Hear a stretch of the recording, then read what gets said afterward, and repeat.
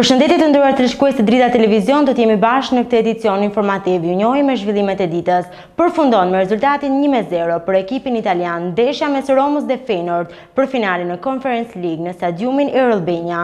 Kjo ndeshje e bën Romën për të parën herë në histori fituese të Conference League. Në kryeqytetin shqiptar, në Tiranë, ekipi i drejtuar nga Jose Mourinho mundi një me zero Feyenoordin. Roma është fituese e edicionit të parë të Conference League. Në kryeqytetin shqiptar, në Tiranë, ekipi i drejtuar nga Jose Mourinho mundi një me zero Feyenoordin. Sfida mes Feyenoord dhe Romës ka nisur në mënyrë tradicionale, ku në hapësirat e fushës shihen persona me flamuj në duar dhe veshje të zeza, që qëndronin në harmoni me ngjyrat dhe logon e kompeticionit. Ndërkohë atmosfera e zjarrtë duket edhe në shkallët e stadiumit. Tifozët e të dyja ekipeve janë pozicionuar në hapësira të ndryshme, megjithatë nuk kanë munguar incidentet. Në momentin që ekipet e të dyja skuadrave po zbrisnin në fushën e blertë të stadiumit Air Albania, që në minutat e para panë holandezët më me iniciativë, por pa rrezikuar shumë portën rivale. Në minutën e njëzet e katërt Pellegrini nisi një top për Zaniolon, por ky i fundit nuk e mbërrin dot. Ndërsa në minutën e tridhjetë e dy, Zaniolo përfiton mirë në zonë dhe shënon duke e kaluar në avantazh ekipin italian. Gjithçka nisi nga Mancini që dërgon një asist në limitet e perfeksionit. Pjesa e dytë nisi në mënyrën më të mirë të mundshme për djemtë e Slot. Një shtyllë ndal Traunerin nga barazimi, ndërsa pavarësisht protestave për një prekje me dorë të Cristantes, arbitri vijon lojën. Ndërsa Feyenoord rriti presionin, por gjithsesi prapavija romake qëndron në vendin e duhur. Veretaut provoi nga distanca në minutën e shtatëdhjetë e dy, ndërsa një pritje e Bijlow i mohoi golin mesfushorit pas një kundërsulmi.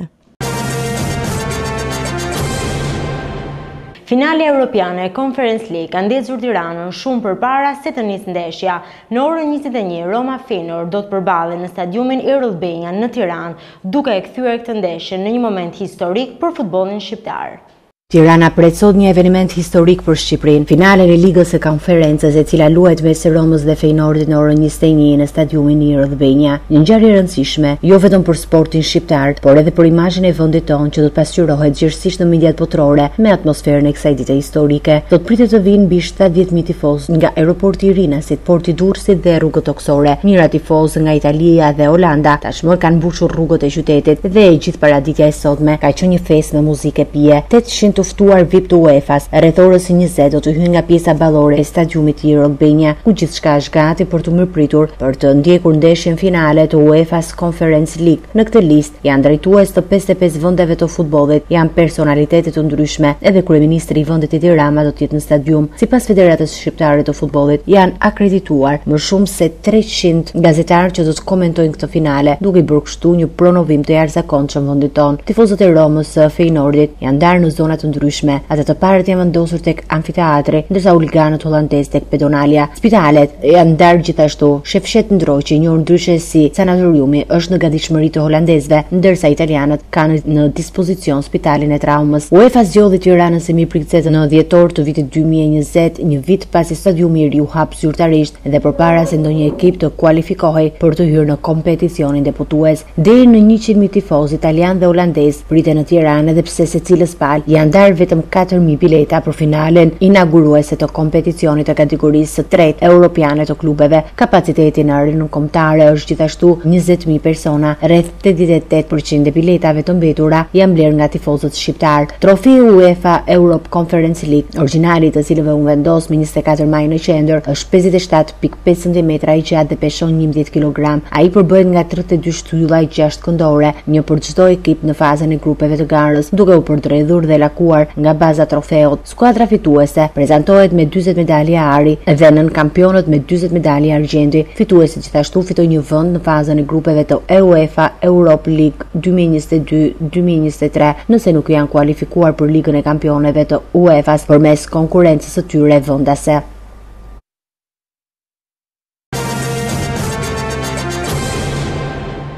Trazirat e shkaktuara mbrëmjen e djeshme në Tiranë nga tifozët e Feyenoord dhe Romës kanë shkaktuar dhjetëra të plagosur. Kështu mësohet se në spital gjatë mbrëmjes dhe natës janë paraqitur 30 persona të lënduar, nga të cilët 20 efektivë policie.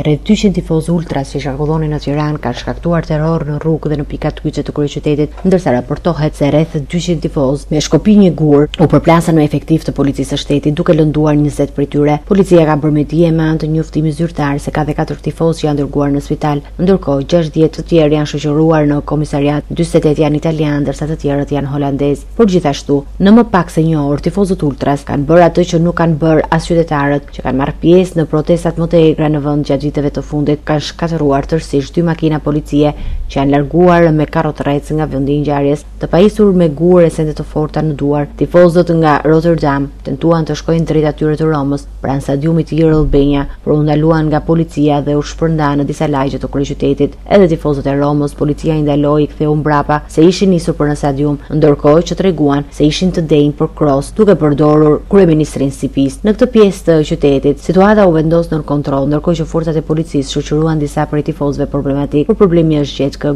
Grupi i tifozëve të Feyenoordit ka vijuar për një kohë të gjatë përplasjen me policinë te ura e Drejtorisë së Policisë Tiranë në kryqëzimin e Vasil Shantos dhe në njëzet e një. Përplasje ka patur edhe tek Hotel Hilton, pranë pallatit me shigjeta, ku ndodhen të akomoduar lojtarët e Fejnordit, deri më tani raportohet se policia ka ndërhyrë menjëherë dhe ka shoqëruar disa tifozë të Fejnord, madje, në vendin ku shkatërrua makina e policisë gjatë përplasjes së tifozëve është gjetur një thikë që nuk dihet se kujt i përket, por që me siguri do kishte shkaktuar dëme të rënda nëse do të ishte përdorur. Policia e Shtetit ka reaguar pas trazirave të shkaktuara në orët e fundit në Tiranë përmes zëvendës drejtorit të përgjithshëm të policisë, Albert Dervishi.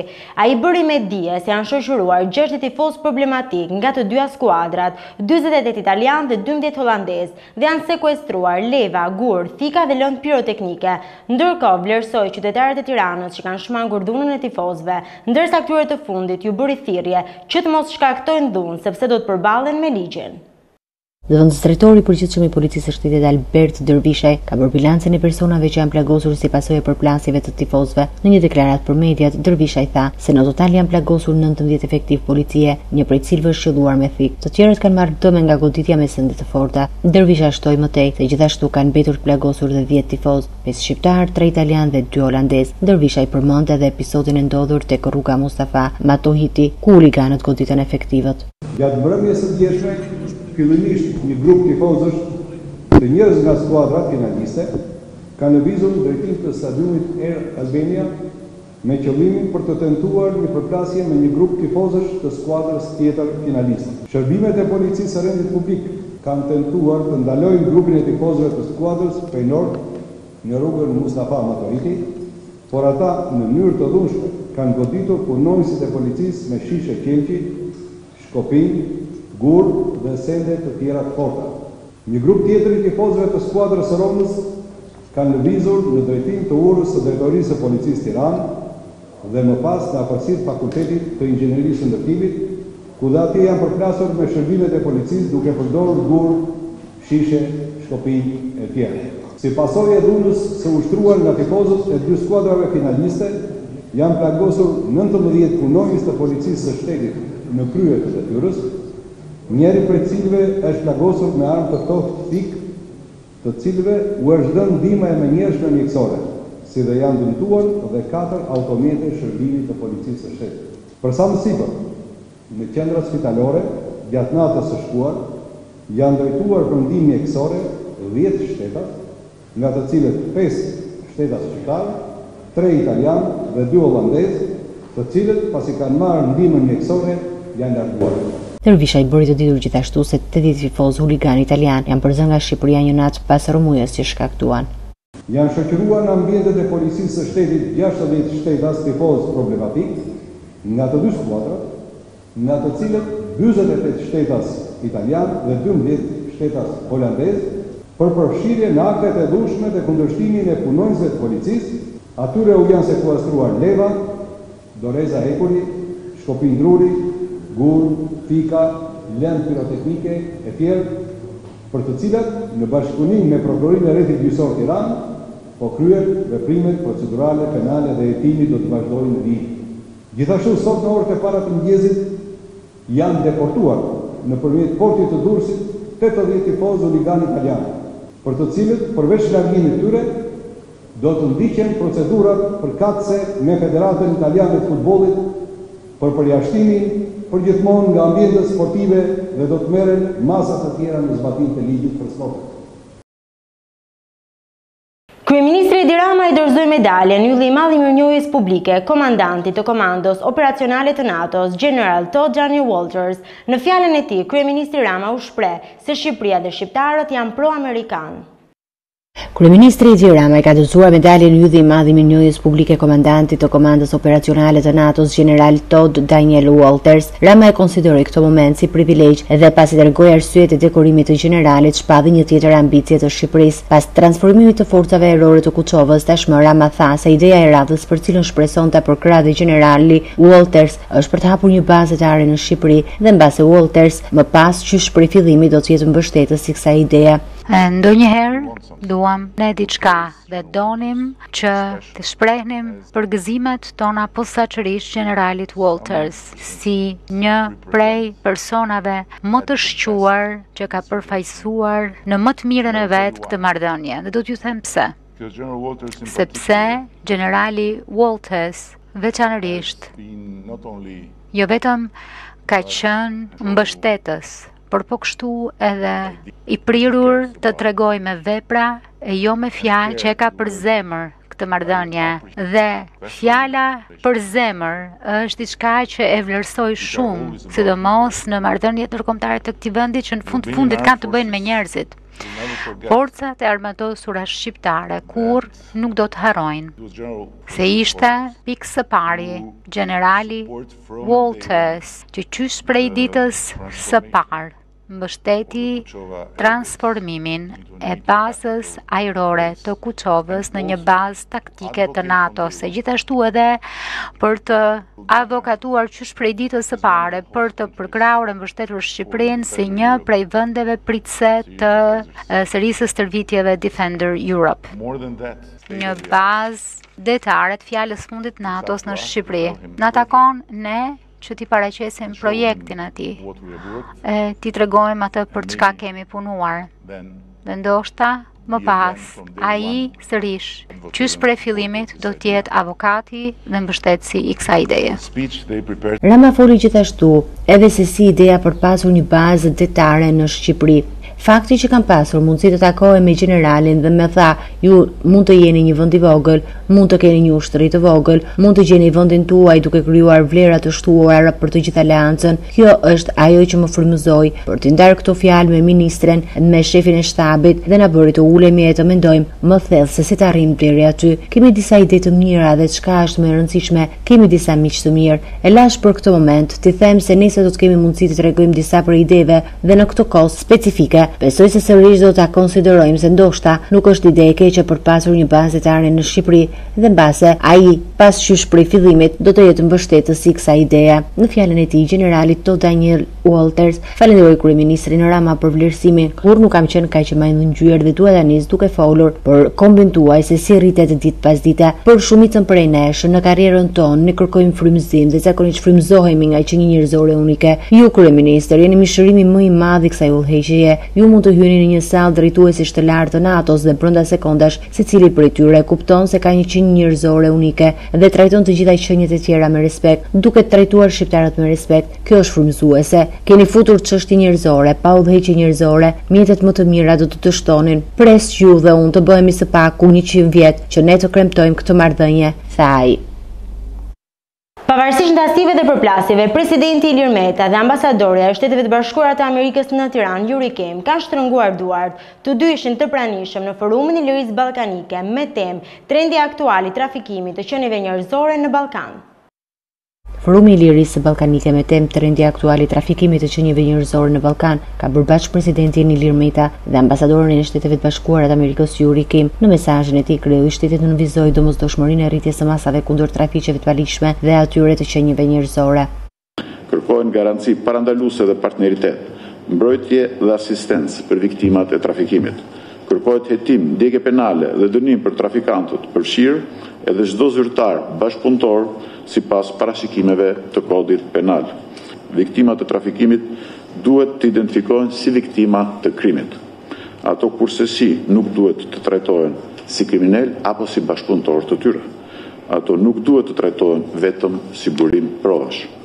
Për presidenten e Kosovës Vjosa Osmani, anëtarësimi i vendit të saj në organizatat ndërkombëtare do t'i jepte shtysë më të fuqishme luftës kundër trafikimit të qenieve njerëzore që në vendin e saj prek më shumë vajza nën moshën tetëmbëdhjetë vjet. Të përballur me një realitet të tillë, Anëtarësimi i Kosovës në organizata ndërkombëtare si Interpoli bëhet një çështje e rëndësisë së veçantë.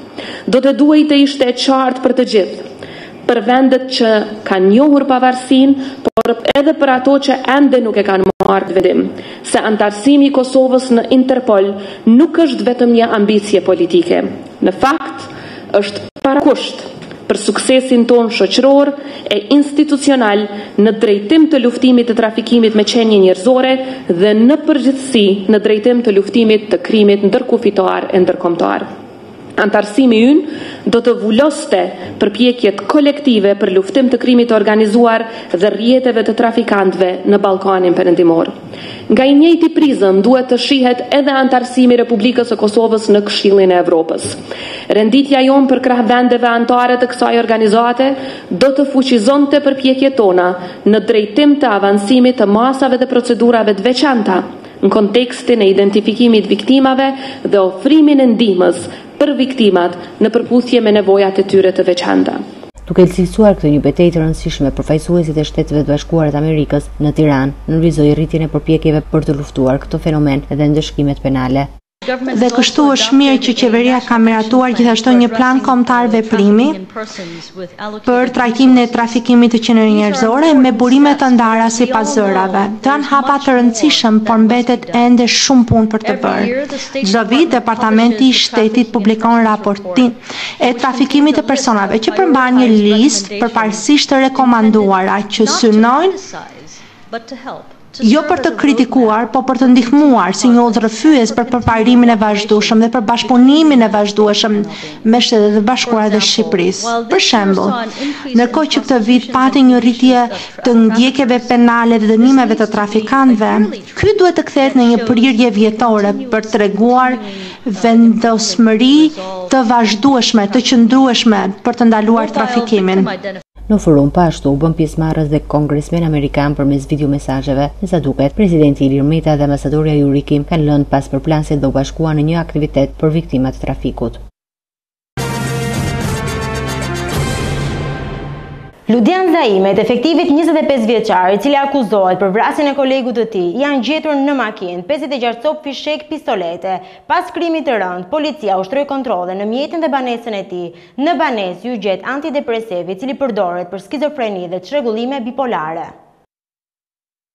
Ludian Zaimi, efektivi njëzet e pesë vjeçar që nuk duroi dot talljet e kolegut të tij Çaush Saliasi e shkrepi armën gjashtë herë mbi trupin e tij, duke i shkaktuar vdekjen, rrezikon burgim të përjetshëm. Mbi të rëndon akuza e vrasjes së punonjësit të Policisë së Shtetit, armëmbajtjes pa leje, pasi janë gjetur pesëdhjetë e gjashtë. fishekë. Në shtëpinë e njëzet e pesë vjeçarit janë gjetur antidepresantë, medikamente që përdoren për të kuruar skizofreninë, çrregullime bipolare, si dhe probleme të tjera të rënda mendore. Ngjarja ndodhi mbrëmjen e njëzet e tre majit, brenda komisariatit numër tre në Tiranë, teksa po ndërroheshin turnet dhe në sallë ishin kolegë të tjerë. Zaimi duket se e ka e kishte të qartë shënjestrën e tij, ndaj bëri thirrje efektivëve të pranishëm që të ulnin kokat. Ndërsa në komisariat u shkaktua gjendje kaosi, dhe të gjithë kishin dalë jashtë pasi nuk po kuptonin se çfarë kishte ndodhur. Në dëshminë e tij, Ludian Zaimi tha se e vrau Saliasin pasi e tallte dhe e shante, duke i thënë qorr dhe duke e sharë nga nëna. Ndërsa autori kurohej me ilaçe dhe për depresion. Viktima pinte alkool dhe kishte pasur shpesh herë debate me autorin por fakti që drejtuesit i kishin lënë në një turn, kishte shtuar tensionin mes tyre. Zaimi kishte një vit e gjysmë në Policinë e Shtetit.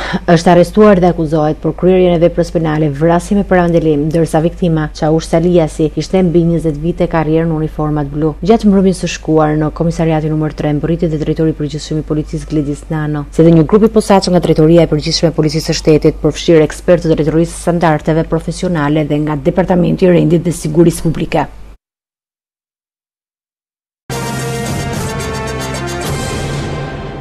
Duket se ditën e sotme është arrestuar dhe tifozi më i njohur shqiptar, Ismail Berisha, i njohur ndryshe si Ballist Morina. Ballisti u bë i njohur pasi lëshoi dronin me flamurin e Shqipërisë etnike në Beograd dhe nga ajo kohë ka pasur probleme me ligjin dhe nuk është lënë asnjëherë rehat. Ismail Morina, i njohur si Ballist Morina, është arrestuar ditën e sotme. I riu, i cili njihet si shqiptari që ngriti flamurin gjatë ndeshjes në Beograd, u vu në pranga nga policia kufitare. Morina, i cili po kthehej nga Kosova, ishte i shpallur në kërkim, pasi kishte dhe pesë muaj e dymbëdhjetë ditë burg pa shlyer për armëmbajtje pa leje. Arrestimi i tij u bë publike nga kryetari i Partisë Demokratike Sali Berisha me një postim në rrjetin social. Ai akuzoi drejtpërdrejt kryeministrin Edi Rama, Për këtë ndalim të Morinës, Ballist Morina emri i vërtetë i së cilit është Ismail Morina u bë i njohur pasi ngriti dronin me simbole etnike në ndeshjen Serbi-Shqipëri. Në minutën e dyzet e një të saj Morina i fshehur në majë të stadiumit lëshoi dronin me flamurin pro-shqiptar duke bërë që lojtarët serbë të tensionohen dhe ta marrin atë por si kundërpërgjigje lojtarët shqiptarë nuk e lanë ta merrnin duke E marrë atë në dorë. Më pas, ndeshja vijoi me goditje nga të dyja palët, ndërsa u ndërpre pasi tifozët serbë filluan t'i gjuanin lojtarëve të kombëtares shqiptare. Vijojmë me të tjera informacione, Kompanitë e mëdha të përpunimit të qumështit dhe bulmetit kanë lajmëruar rritje të re të çmimeve duke filluar nga data gjashtë qershor në të gjitha pikat e tregtimit me pakicë. Rreth pesëdhjetë e pesë artikuj të qumështit të gjalpit, djathit dhe kosit do të rriten nga dhjetë deri në pesëdhjetë përqind. Kjo është rritja e katërt e çmimeve në mënyrë të organizuar brenda këtij viti. Kompanitë e mëdha të përpunimit të qumështit dhe bulmetit kanë lajmëruar rritje të re të çmimeve nga data gjashtë qershor në të gjitha pikat e tregtimit me pakicë. Rreth pesëdhjetë e pesë artikuj të qumështit të gjalpit, djathit dhe kosit do të rriten nga dhjetë deri në pesëdhjetë për qind, sipas listës bashkëngjitur që një nga fabrikat e mëdha ka shpërndarë në pikat e pakicës në të gjithë vendin. Kjo është rritja e katërt e çmimeve në mënyrë të organizuar brenda këtij viti. Sipas të dhënave nga lista bashkëngjitur rritjen më të lartë e ka pësuar çmimi i gjalpit, i cili për disa lloje pritet të jetë pesëdhjetë për qind më i shtrenjtë pas gjashtë qershorit. Një nga paketimet e gjalpit të deles do të shitet me një mijë e dyqind lekë pas gjashtë qershorit, Nga tetëqind lekë që shitet aktualisht, gjalpi i deles vaskë do të shitet me gjashtëqind lekë pas gjashtë qershorit, nga treqind e shtatëdhjetë e pesë lekë aktualisht. Një gotë kos treqind e tetëdhjetë gramë do të shitet me pesëdhjetë e pesë lekë, nga pesëdhjetë lekë që është aktualisht. Një shishe kos nëntëqind e pesëdhjetë gramë do të shitet njëqind e tridhjetë e shtatë lekë, nga njëqind e njëzet e shtatë lekë që është aktualisht. Një kuti me djathë dele nëntëqind gramë do të shitet me tetëqind e dyzet lekë, nga shtatëqind e shtatëdhjetë, që është aktualisht. Burimet nga tregu pohojnë se pas rritjes së çmimeve ka shumë arsye,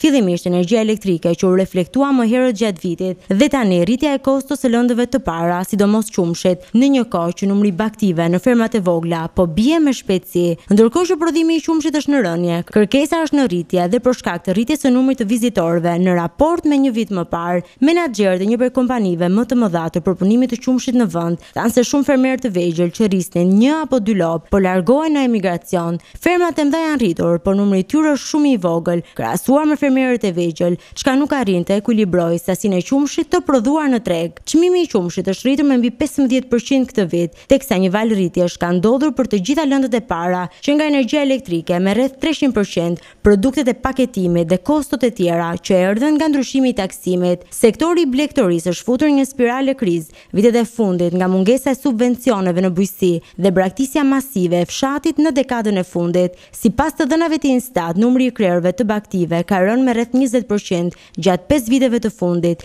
teksa këtë vit rënia do jetë më e shpejtë. Fermat e vogla me pak krerë po mbyllen nga braktisja e fshatit, ndërsa fermat e mëdha po përballen me kosto të larta pasi pothuajse të gjitha ushqimet për bagëtitë importohen nga jashtë. Pas luftës në Ukrainë, çmimet e ushqimeve të kafshëve janë rritur, ndërsa fermat nuk subvencionohen nga qeveria. Shumë shpejt, prodhimet shqiptare të bulmetit do të konkurrohen nga prodhimet e importit.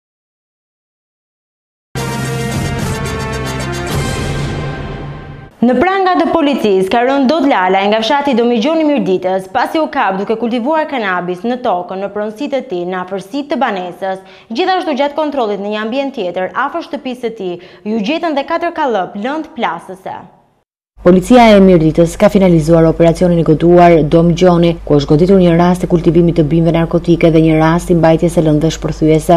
Në këtë operacion, është vënë në pranga një shtetas dhe janë sekuestruar kallëpe me lëndë plasëse dhe bimë narkotike të kultivuara në vijim të punës për parandalimin dhe goditjen e veprimtarisë kriminale në fushën e kultivimit të bimëve narkotike, si dhe të mbajtjes së municionit luftarak e lëndëve shpërthyese bazuar në informacionet policore të administruara në rrugë operative. për një shtetas që kishte kultivuar bimë narkotike në afërsi të banesës së tij, si dhe mbante lëndë plasëse shpërthyese. Nga specialistët për hetim të krimeve të Komisariatit të Policisë Mirditë është finalizuar operacioni policor i koduar Domgjoni. Si rezultat i këtij operacioni, është arrestuar në flagrancë shtetasi me inicialet DL banues në fshatin Domgjon Mirditë, për veprat penale kultivimi i bimëve narkotike dhe mbajtja pa leje e armëve shpërthyese dhe municionit, njofton më tej policia. Arrestimi i shtetasit me inicialet DL u bë gjatë kontrollit të ushtruar në tokën në pronësi të tij në afërsi të banesës, të cilat janë gjetur të kultivuara bimë të dyshuara narkotike cannabis sativa. Gjatë kontrollit të ushtruar në një ambient tjetër në afërsi të banesës shërbimet e policisë kanë gjetur dhe sekuestruar katër kallëpe dhe lëndë të dyshuara plasëse. Materialet procedurale u referuan prokurorisë pranë gjykatës së rrethit gjyqësor Lezhë. për veprimet e mëtejshme. Të nderuar teleshikues të Drita Televizion, kjo ishte gjithçka e përgatitur për këtë edicion informativ. Bashkë do takojmë në edicione të tjera informative. Deri atëherë, mirutakofshim.